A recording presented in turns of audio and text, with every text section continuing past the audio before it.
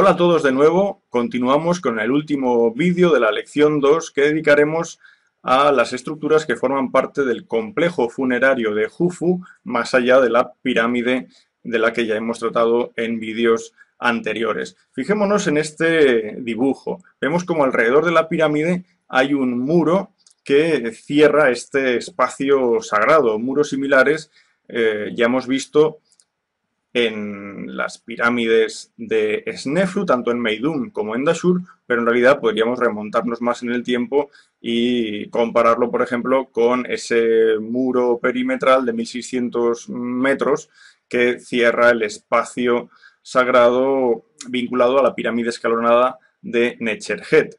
Bien, este muro se calcula que podría tener unos 3 metros de altura y está separado 10 eh, metros más o menos de los lados de la pirámide. A ese muro se asocia en su lado este el templo funerario o templo alto, que es la auténtica comunicación entre el espacio de la pirámide y la rampa que desde su lado este nos conducirá salvando un desnivel de cerca de 38 metros, porque estamos en una meseta, quizás una meseta, recordemos, pues salvando ese gran desnivel, podremos ir a través de la rampa hasta el llamado Templo del Valle o Templo Bajo, un templo situado en una posición baja que le permitía conectar mediante canales con el río Nilo. De todo esto hablaremos un poquitín después. Aparte, eh, comentar también la presencia de cinco fosas para eh, barcas funerarias. Dos en el lado sur, dos en el lado este y otra tercera en el lado este, pero eh, pegadita al lado norte de la rampa que conduce al templo del valle. Y aparte de esto también la presencia de una pirámide satélite dedicada al K del faraón, pirámide que fue descubierta en 1992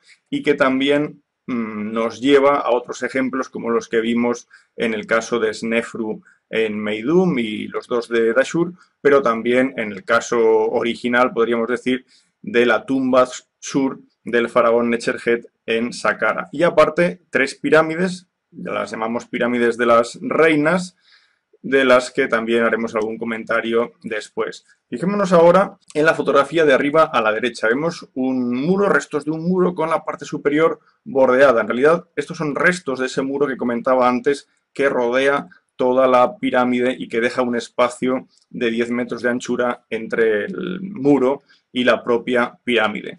Pero en la fotografía de abajo vemos eh, una imagen con una persona andando por una superficie de color negro. Es el suelo del el templo funerario de Jufu, un suelo de, de basalto.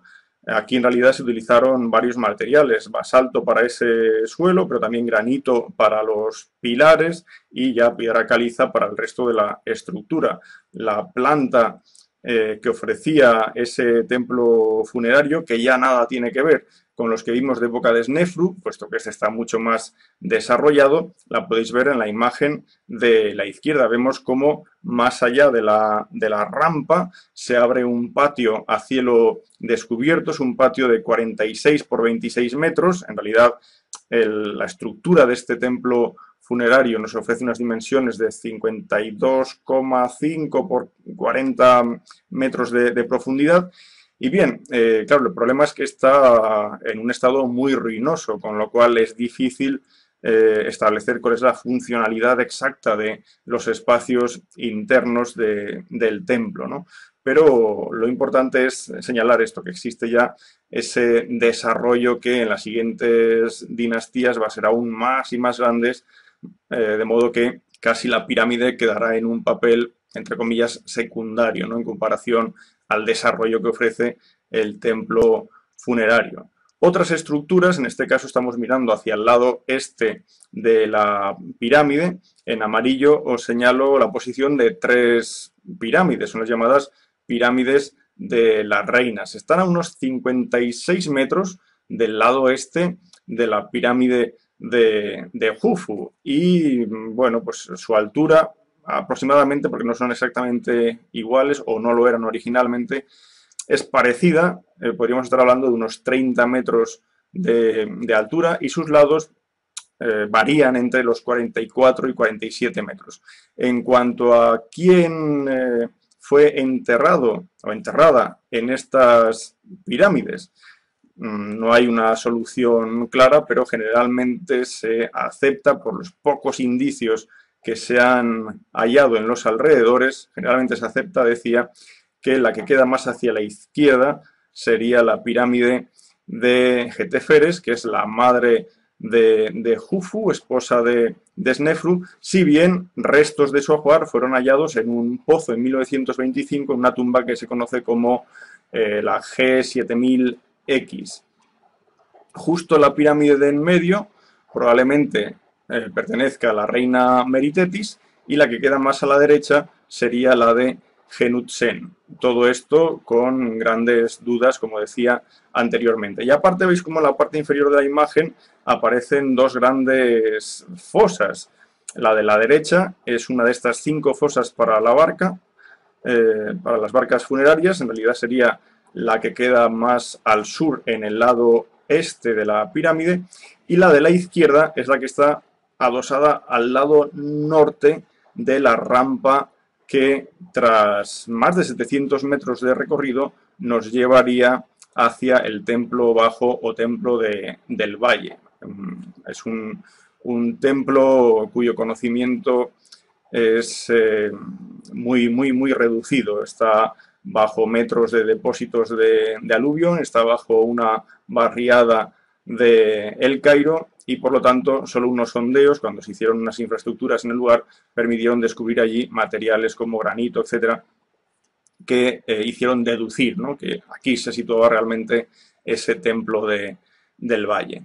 De las cinco fosas, dos permanecen o permanecían intactas en su momento, en el momento del descubrimiento en tiempos modernos. Por ejemplo, si hablamos de las dos fosas del lado sur, la que queda en el oeste, cuando fue descubierta en el, eh, dentro del lado sur, la que queda más hacia el este, cuando fue descubierta en 1954, la verdad es que supuso un gran, un gran impacto porque apareció una barca completamente desmontada en 1224 piezas, de modo que una vez se montó, eh, apareció un esplendoroso barco elaborado en madera de cedro de casi 43 metros de eslora y casi 6 metros de, manga, algo evidentemente impresionante. Desde 1982 está en el museo que veis en esta imagen. No obstante, la fosa que guardaba estas 1.224 piezas es una fosa de un tamaño más reducido que el de la propia barca una vez montada. Es una fosa de 31 metros de longitud, poco más de 5 metros de profundidad, pero lo interesante es que los, las 41 losas que cerraban esta fosa, son losas entre 15 y 20 toneladas de peso, llevan muchas de ellas inscripciones del faraón Yedefra, que es el sucesor de Jufu. Por lo tanto, vemos como Yedefra fue el encargado de rematar un poco el complejo funerario de eh, Jufu. Y bueno, hay que hacer referencia a la otra fosa del lado sur, la que queda más hacia el oeste. En este caso, eh, a través de una perforación realizada en 1987, se comprobó que allí también había una barca desmontada. Un proyecto japonés actual espera eh, reconstruirla, igual que se hizo con la, con la otra, y exponerla en un futuro en el nuevo museo de El Cairo. En cuanto a la rampa, esta imagen pertenece a la rampa de la pirámide de Unas, pero podríamos suponer eh, que la original de Jufu podría tener un aspecto similar. Recordemos, no obstante, las palabras de Heródoto. Para él, la construcción de la rampa casi era más impresionante que la de la propia pirámide. Recordad lo que os he comentado antes, la rampa tenía que salvar ese talud de la meseta de, de Gizá. La rampa también sabemos por Heródoto y por descubrimientos posteriores que eh, estaba decorada, llevaba una iconografía, llevaba eh, inscripciones, con lo cual sí que debía ser una estructura muy vistosa y probablemente nos hubiera ofrecido bastante información sobre el reinado de, de Jufu. Hemos comentado ya que esa rampa mm, tenía que superar necesariamente los 700 metros de longitud para comunicar la pirámide con su templo funerario con el templo bajo o templo del valle. El templo del valle de la pirámide de Jufu, como decía, está completamente perdido bajo una barriada actual de, del Cairo, pero mm, quizás nos puede servir de referencia el templo, el templo del valle de el faraón Jafra.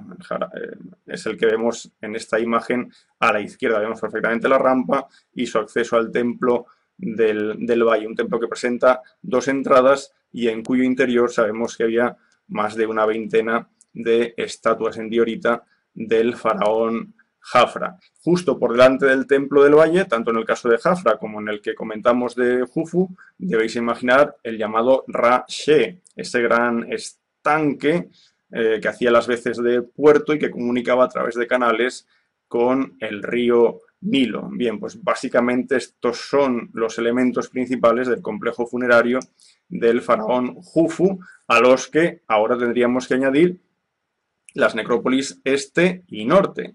En la necrópolis este vimos, fijaros en la imagen, más allá de las pirámides de las reinas, a la derecha, vemos una gran cantidad de mastabas.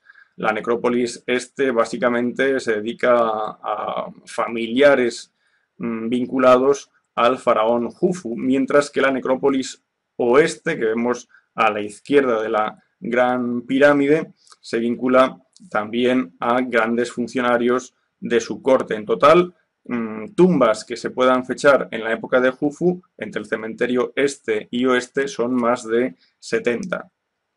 Y ya una última cuestión que quisiera mencionar en este vídeo es eh, la relación que algún autor como Bobal ha querido establecer entre las tres estrellas del cinturón de Orión, es decir, Al-Nitak, Al-Nilam y Mintaka, con las tres pirámides eh, principales de Giza, la de Jufu, Jafra y Menkaura. Eh, fijaros en la línea que he trazado de color naranja en estas tres estrellas del cinturón de, Orión. Vemos como Mintaka, que es la estrella que queda más a la derecha, la más mm, débil, queda como desplazada de la línea. De modo que se puede establecer una similitud si hacemos la misma operación con las tres grandes pirámides de la necrópolis de Giza. Vemos como la pirámide más pequeña, que sería equivalente teóricamente a esa estrella eh, Mintaka, queda además desplazada también exactamente igual que en el cinturón de Orión. Bueno, pues esto es la hipótesis de Bobal, eh, decir que la llanura de, Giza se hizo, o estas tres pirámides se hicieron en un proyecto unitario para eh, reflejar lo que es ese cinturón de Orión en la Tierra, recordando en todo caso que Orión para los egipcios, o mejor dicho, Sag, es una forma del dios Osiris.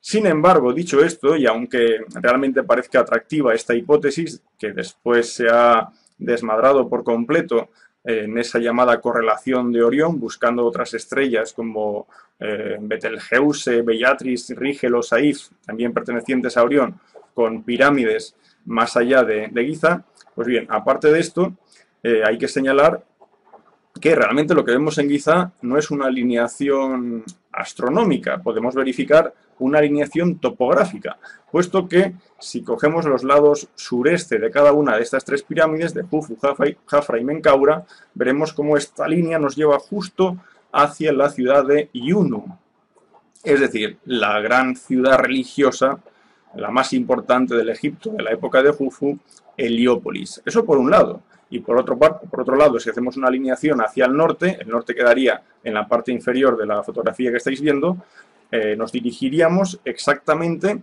hacia la ciudad de Gem, Letópolis. Gem, cuyo estandarte es una pata de toro, es decir, el Mesgetiu. Recordemos que en Mesgetiu la pata de toro es eh, la constelación que equivale aproximadamente a nuestra osa, a, nuestro, a nuestra osa mayor. Es decir, resumiendo, en Giza a todas luces tenemos en realidad alineaciones tanto al norte como hacia el sureste, alineaciones eh, tanto al norte como al noreste, tomando las esquinas sureste de las tres pirámides, alineaciones hacia objetivos topográficos.